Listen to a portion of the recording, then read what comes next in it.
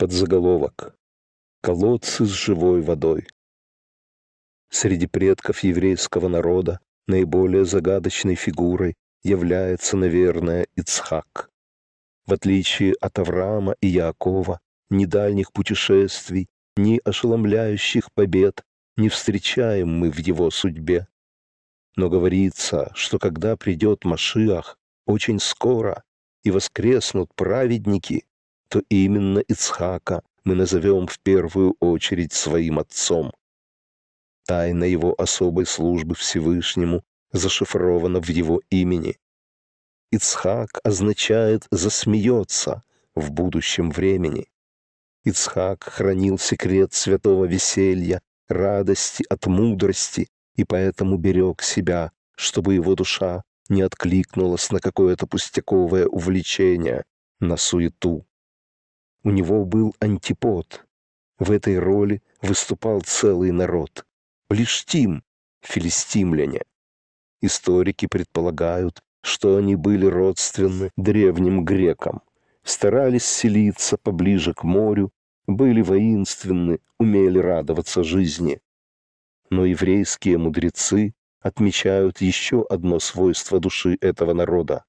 Называется оно олилут ве лейцанут, бахвальство и насмешничество, идущие от свойства противоположного святости. Внешне филистимляне не отличались от других народов. Выбирали царьков в своих пяти городах, одним из которых была Аза, поклонялись божеству с рыбьим хвостом.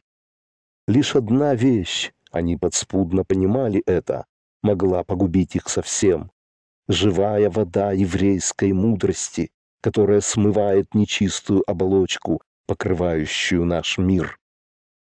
Это не только метафора, но и реальность. В нашем мире с мудростью Творца таинственно связана вода, бьющая из подземных родников. Она обладает силой духовного очищения. Еврейская женщина, чтобы рожать детей, сердцем доступным Богу, должна раз в месяц погружаться в такую живую воду. Во все времена тот, кто противостоял еврейству, один из первых ударов обрушивал на микву, водоем с живой водой. Не будет у вас какой-то чистоты особенной и святости, станете такими, как все, перемешаетесь. Ицхак жил среди филистимлян. В этом была его судьба, его борьба, он копал колодцы с живой водой, а те их засыпали. Со злобой и со смехом, без логики, подчиняясь напору своей животной души. У них было еще то преимущество, что они смеялись в настоящем времени в кавычках.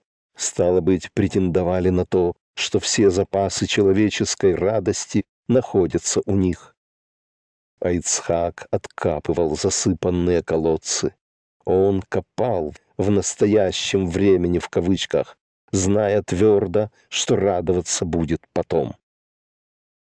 К Рэбе Йосефу Ицхаку, продолжавшему жить в Ростове-на-Дону, пришли евреи с горестной вестью.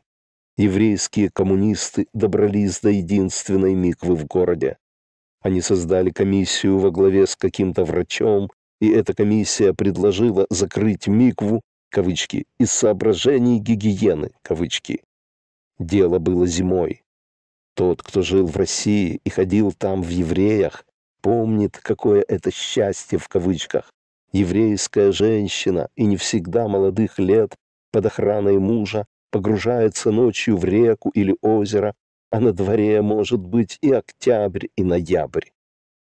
В южным вечером Рэбе пригласил к себе врача из комиссии в гости и тот пришел. Два часа или более толковали они о разных разностях, в том числе и о еврейской старине. Врач вспомнил своих местечковых дедов, расчувствовался.